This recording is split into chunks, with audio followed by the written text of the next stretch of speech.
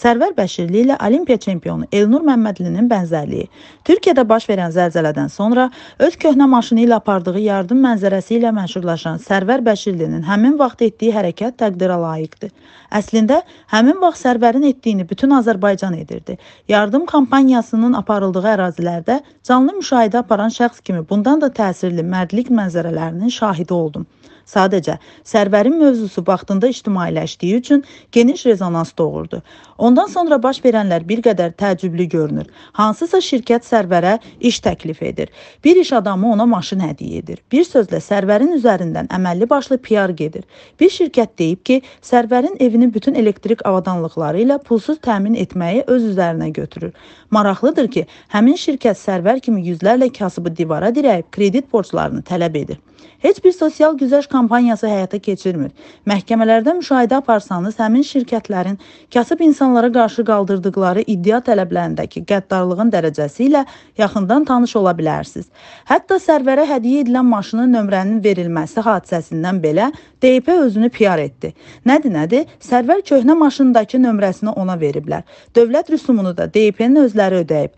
Bax, nə böyük iş görüblər. Görəsən Sərvər yox, başqa bir vətəndaş DP-dən köhnə avtomobilinin nömrəsini özündə saxlamağı istəsə, ondan hansı məbləğdə rüşvət alarlar?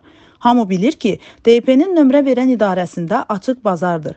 Hətta 50 min manata belə maşın nömrəsi satırlar. Yəni görünən budur ki, kimin əlinə fürsət düşürsə, sərvəri özü üçün PR alətinə çevirib.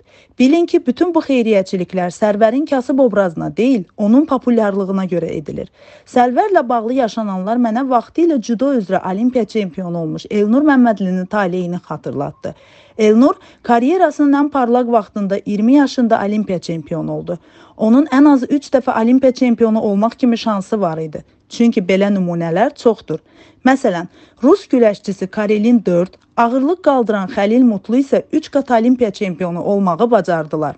Ancaq biz nəyi müşahidə etdik? Kim özünü reklam etmək istədisə, Elnura bahalı avtomobil və mənzil hədiyyə etdi.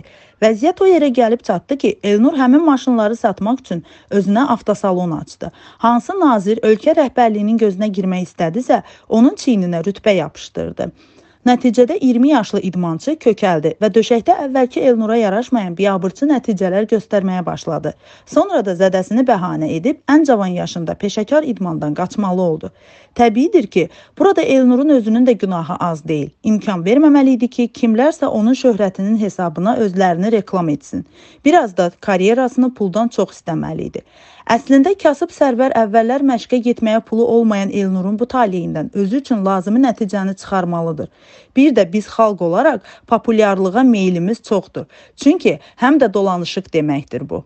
Əksər hallarda isə həmin populyarlığı qazananlar onu xalqın xeyrinə deyil, şəxsi faydaları üçün istifadə edir. Buna aid bir misal da çəkim. Mərhum Heydər Əliyevlə görüş şansını əldə edən şairlərimizdən biri evi ola-ola ondan mənzil istəmişdi. İstəyi təmin olunmuşdu. Həmin ziyalı ikinci dəfə də Heydər Əliyevlə görüşmək xoşbəxtçiliyini əldə edir. Bilirsiniz nə xahiş edir? Prezidentin ona hədiyyə etdiyi mənzilin təmirini. Halbuki həmin ziyalı heç olmasa ikinci görüşdə xalqın xeyrinə olan bir xahişi ilə böyük problemin həllinə nail ola bilərdi. Sözüm Sərvər Bəşirliyədir. Qardaş, nə verirlərsə götür, ancaq imkan vermə ki, sənin üzərindən şoular qursunlar. Onda səni də Elnur Məmmədlinin uğursuzluğu gözləyə bilər. O nəticə verə bilmədi. Sənlə bağlı nə olacaqsa, onu indidən deyə bilmərəm. Məhəmməd Əli Qəribli, Azinforum Az.